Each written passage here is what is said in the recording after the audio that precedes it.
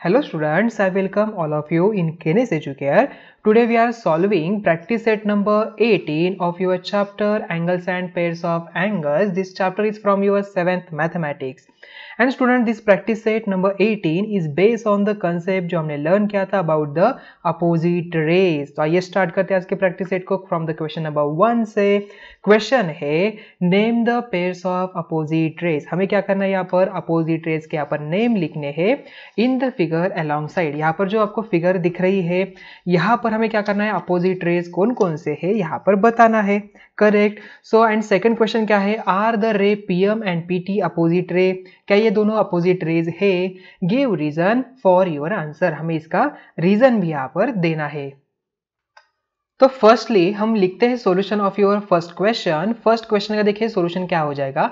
उनने क्या कहा है? अपोजिट रेज कहा है. अपोजिट रेज मतलब क्या होती है? यहाँ पर फॉर एग्ज़ाम्पल एक यहाँ पर मैंने पॉइंट बना दिया, यहाँ पर नाम देते ओ पॉइंट यहाँ पर एक रे हमने ड्रॉ किया, ठीक है? इसे ओ ए कहते हैं। और मैंने एक अलॉन्ग साइड यहाँ पर भी बना दिया, यहाँ पर ओ भी हो जाएगा।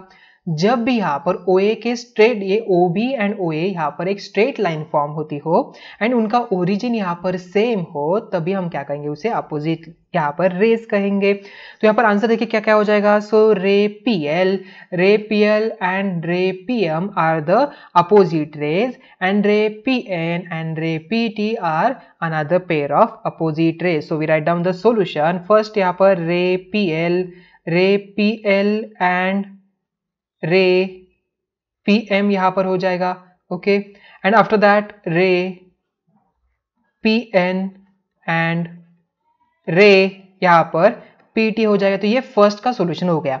अभी सेकंड उन्होंने क्या क्वेश्चन पूछा था यहाँ पर? So are the ray PM PM कहाँ पर देखिए, ये पीएम है एंड पीटी क्या ये दोनों अपोजिट रेज है? नहीं this two are not a opposite rays because देखिए, इनका ओरिजिन तो सेम है बट पीटी एंड पीएम यहाँ पर स्ट्रेट लाइन फॉर्म नहीं कर रहे। So therefore we write down the solution of second one क्या हो जाएगा? So ray PM and ray PT not form a straight line okay ये स्ट्रेट लाइन फॉर्म नहीं करते and hence so therefore are not opposite ray. Okay, so therefore ये opposite rays नहीं हो सकते।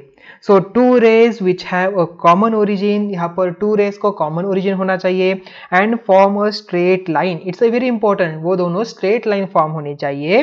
So are said to be opposite rays तभी हम यहाँ पर उन्हें अपोजिट रे कह सकते हैं। यहाँ पर P T and P M ये अपोजिट रेज नहीं हो सकते because they are not form a straight line ये स्ट्रेट लाइन फॉर्म नहीं करते ओके सो आई थिंक दोनों क्वेश्चन का आपको आंसर अच्छी तरह से समझ में आ चुका होगा।